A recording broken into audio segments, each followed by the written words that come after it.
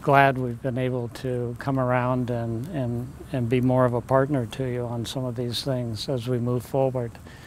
Uh, I think you, if there's anything, uh, there's lots of things positive I think that have come from this little dialogue, both in terms of our getting knowledge and perhaps the community getting knowledge.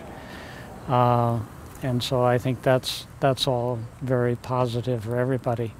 And if there's anything that's come out of this whole thing, you certainly have the most famous little library in town at this point. So uh, I'm sure people have been driving by and, and looking at what you're doing. You know, as part of our exploration on on little libraries, when this phenomena started to come around, we were in touch with the national organization. Uh, a guy named Bol, I think is his name. Yes and uh, they have a quite elaborate uh, details on their website on how to work with these things and work uh, and work through these things. So uh, we've kind of built on that, and I think as a result of this, we have a website now, don't we, Mickey and Diane? Uh, and you can go on that. It's lincoln.ne.gov love little libraries, yeah. So there'll be some guidance for other folks in town that they can get in a number of ways now. I think that uh, the only other couple of things I wanted to mention was that uh, apparently the national organization has given us one of these little little library kits, uh, a whole system for setting up a little library, and I understand there's another church at 11th and Garfield or someplace? Another one of ours, yep. Another one of your churches? Yep. Okay. Calvary United Methodist. All right. And I don't know if you can use that kit, but we I think we probably could. could you? I think Then so, it's yeah. then it's We've yours. Had so much fun. We've It so yours. Much fun with this. Well, thank you very much. You bet. Can we put it on next to the street? we know where not to put it to start Yeah. with. You don't even need a list of instructions anymore, do you? You have had way too many instructions already, I'm sure. But uh, hopefully you can uh, make use of that. And uh, we've added one little book to your library that will be on its way just as soon as Ella's done with it, right? Maybe, maybe could, could we get a picture of you and Ella in the book maybe? Oh, absolutely. Come on, Ella, bring the book over here and uh, and we'll uh, take a little picture, huh? All right, shall we hold it up so you can see what it is? That it's Ted Kooser's book. Yeah, you know it's about a house that a young girl used to live in, and then over a long period of time, she grew up and moved away from the house, and then the father had to move away from the house, and there was nobody to take care of the house. And so the trees started growing up around the house. And pretty soon the trees lifted the house, and it became a treehouse. Are you impressed? Kinda. Kinda. All right, picture's done. Well, thank you all very much for allowing me to come.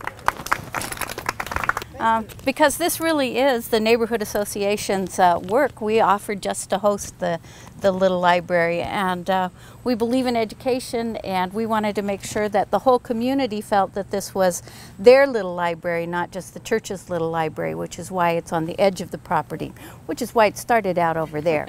but we wanted to make sure that everyone knew that all are welcome, and, and we believe in strong neighborhoods, strong community.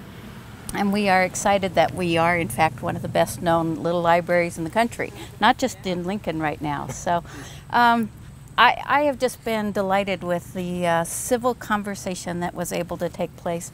So much of what we seem to have lost in our society is the ability to actually talk with one another. And I am so pleased that the City of Lincoln and the Neighborhood Association and the church were able to have good conversation, along with a number of people who have called us, who've written us, and who offered us money and a variety of other things to help us out as we worked through this. Um, it, it was uh, kind of a surprising conversation, especially in the middle of the summer. Who knew this summer that that's what we'd be doing?